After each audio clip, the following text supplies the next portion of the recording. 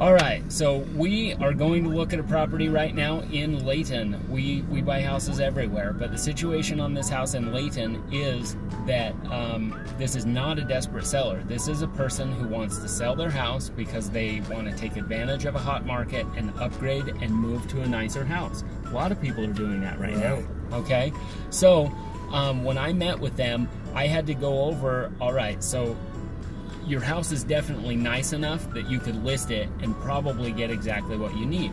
But when you list your house, you're going to have people come over.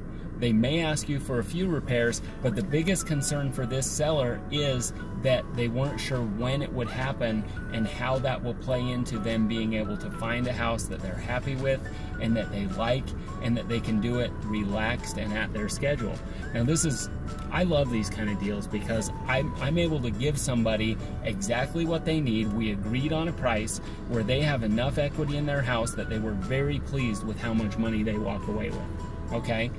And she said, Well, when are we going to close? And I said, We can close anytime in the next six months. We could go longer if we want, but I said six months just because. Right. Well, I signed this deal um, Thursday. I was up that way. So, Thursday, today's Monday morning, they went to a couple of open houses over the weekend and they found a home that they love, made an offer on it. In fact, I helped them write an offer on it and we are now under contract on a purchase for them. So sometimes real estate feels so much harder than it actually is. They sold their house Thursday, they found a new one on Saturday, we wrote the offer, and Monday morning we're under contract and ready to go. Awesome. Yeah. You know, that's good. So if you have a house that you're looking at selling, give us a call. We'll take it as is. You don't have to clean it out. You don't have to do anything. We'll show up. We'll tell you what we can do. If it works for you, great.